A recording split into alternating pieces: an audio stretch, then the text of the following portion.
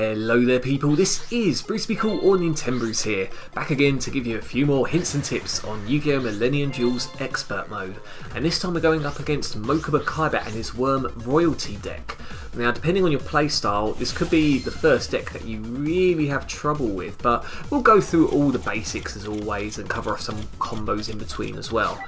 Now, for those of you unaware about what worms actually do, they're just there to be really, really disruptive. So they can bounce things back to the hand or extra deck, uh, they can destroy things on the field, they can replenish the user's hand or special summon to the field. Um, they can do all sorts to a degree, so you kind of got to expect anything with this deck.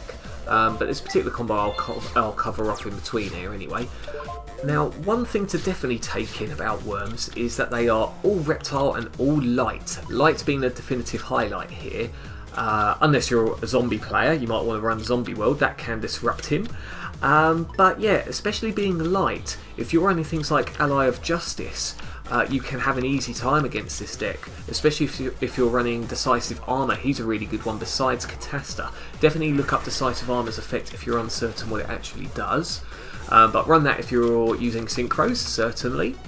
Um, if you're not fussed about the monsters per se, uh, targeting light, then go for some support. So you've got Light Imprisoning Mirror, that's a big one straight off the bat, uh, and stops all his effects on the field and the grave regarding light monsters.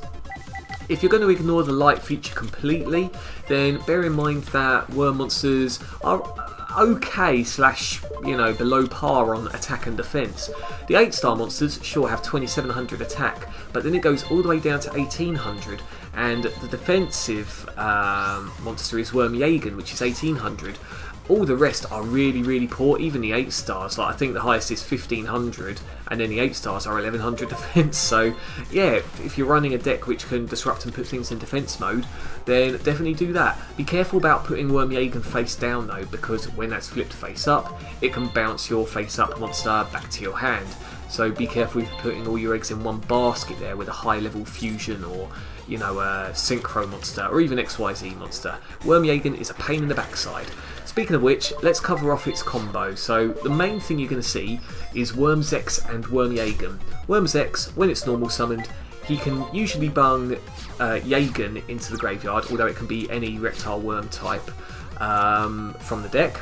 And Yagan's ability is if Xex is the only uh, monster on the field of his, uh, then he can special summon Yagan into face down defense position, and if Yagan is face up, Xex can't be destroyed by a battle. But the big thing is he's recycled a monster which can just bounce something back to your hand, so be very careful with that. That's another thing, because this deck does rely on the graveyard as well, you're probably going to want to rely on a remove from play deck if you're not using any of the above uh, suggestions so far. Um, doing remove from play blocks down quite a bit of his deck, so definitely think about that. Other than that, I don't really want to go through the rest of the monster effects. Um, the only other one to note maybe is it'll special summon Worm King and just tribute itself to block one of your cards, but yeah, the rest are very, very minor really. Going to support cards, the big one are the traps. So if you're not running uh, sorry, Light Imprisoning Mirror, you're definitely going to want to run Royal Decrees. So you're going to want to block Offering to the Snake Deity and W Nebula Meteorite. The Meteorite card changes all face down monsters on the field to face up defense position, usually activating effects there as well. Uh, and then during the end phase, he turns all the face up light reptile type monsters down to defense position, draws a card for each, and special summons one of his 8 star light reptile type monsters from the deck onto the field, which is very nasty. You're definitely going to want to run um, Bottomless Trap Hole, Solemn Warning, um, things to just blow up uh, the field really torrential tribute as well. This is if you're not relying heavily on Royal Decree. And offerings to the Snake Deity, target a face up reptile type monster and two cards your opponent controls, destroy all three targets. What you can do here is actually put his uh, reptile type face down that he selected to negate the effect, or end up tributing one of your monsters. He does have quite a few destruction cards, so if you run Stardust Dragon um, or anything to block trap effects, then great, definitely do that. Forbidden Lance is quite good here because that works for you and for him, depending uh, uh, what it is he does. Uh, other than that, he's got a lot of special summoning material. He does have Mirror Force and Dimensional Prison, but that's by the by. Um, special summoning, he's got Call of the Haunted, Viper's Rebirth, Worm Call. so keep that in mind. And then he's got his Solidarity to cover his weakness in attack points. You're definitely going to want to consider some Mystical Space Typhoons of sorts, like two at the least, very, very least there.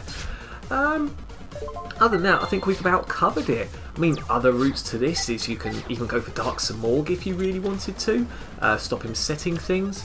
Um, you can also run Skill Drain if you wanted to. Not as effective as uh, Light Imprisoning Mirror here, but you get the point, depends on your deck style here.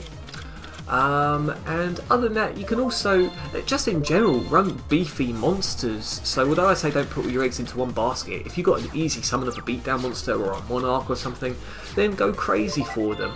Uh, start removing cards and go from there. And also, worms aren't too good against swarming type decks, so uh, keep that in mind as well.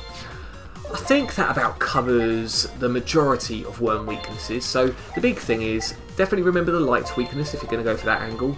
Remember the attack and defense uh, of them is either average or subpar.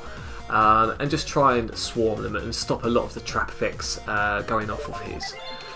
So, pop your comments and thoughts in the section below. Uh, pop down anything that I've missed off. Unfortunately, there's only uh, a few minutes that I can whack in as much as I have so far, but that's what this is all about, helping each other out. And until next time, guys, you take care of yourselves, and I will see you again soon.